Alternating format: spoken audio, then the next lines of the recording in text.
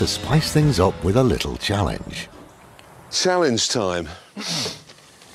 Lose five pounds in one hour? Yep, sweat it away. Come on then. No. Okay, it says here we must not be shot or arrested as we drive across the proud state of Alabama, but that we will get bonus points if we can get one of the others shot or arrested. I don't understand. How do we do that? You will therefore decorate one another's cars in such a way to draw maximum attention to yourself in this Bible bashing, redneck, deeply Christian part of the Union. Decorate. I think what it means is we each have to write slogans on the other one's cars. So you. To get them killed. Yeah. So All right. you do Hammond's, take it away into the bushes. I'm you doing do. yours. I'm getting you killed. I've got an Well, idea. come on. Oh,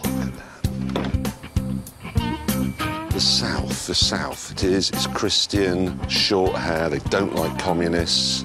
What is closest to their heart? I've got to get him killed. This is a once in a lifetime opportunity. I'll be letting you down, me down, everybody down.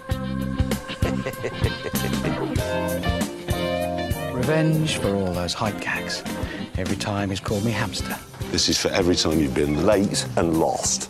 Can you tell what it says yet?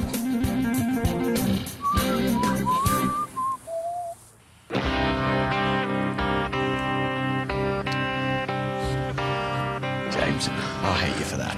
Well, just I think really about hate you for that. all the times you drove into the back of my Cadillac. Yeah. I Do you know, actually, I think, honestly, we've all done a good job here, but I do believe that the person most likely to be shot is indeed Hammond. I think The what you've done there, James, is killed your friend. Yeah. Gingerly, we rejoined the open road. Three religions down here George Bush, God, country and western, in that order, ascending order.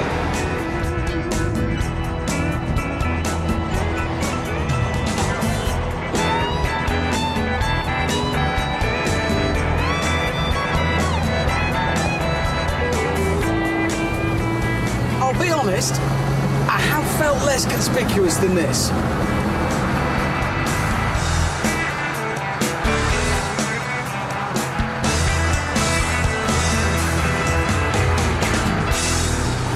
Here we are, sweet home Alabama. Pew, pew, pew.